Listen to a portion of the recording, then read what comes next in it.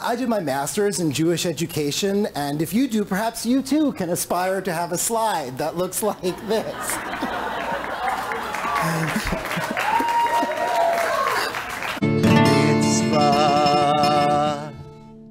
mitzvah. Do it with me. Mitzvah,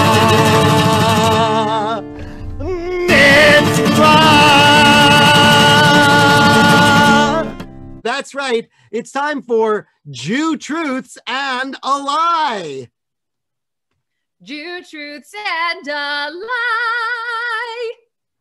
Oh, thank you for that catchy theme there, Megan. I appreciate that. Well, Since last March, we've had to move our religious school online and do it every week by Zoom. The Torah is the story of our family, the Jewish people. But like every family, our family has had some pretty embarrassing moments.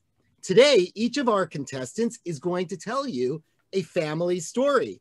Two of them are telling stories that are actually in the Torah, and one of them is lying. It's up to you to tell us which one are the Jew truths and which one is the lie. Okay, here comes our first maybe true story. Mitzvah mitzvah. Avera goreret avera. Oh, oh, mitzvah goreret mitzvah. Goreret mitzvah.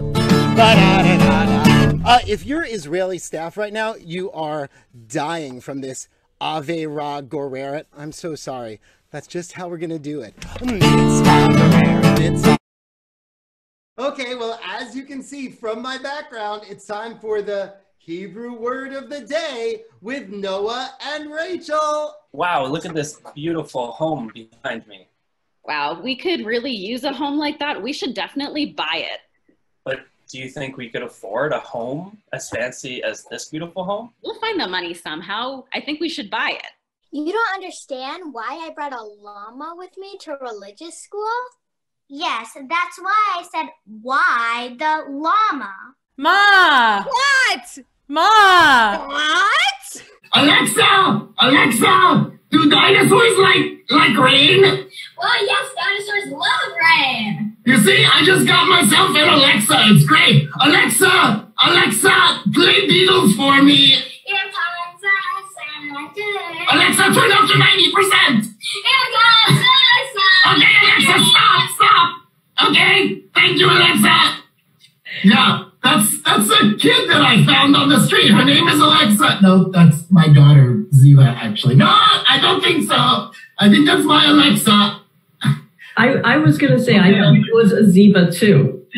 That's a, well, you both have a very active imagination, and that is great to see in adults like yourselves.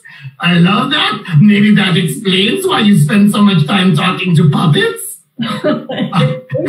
Thank you, thank you, and thank all of you. Thank you. I, I know you were singing at home, and I appreciate that.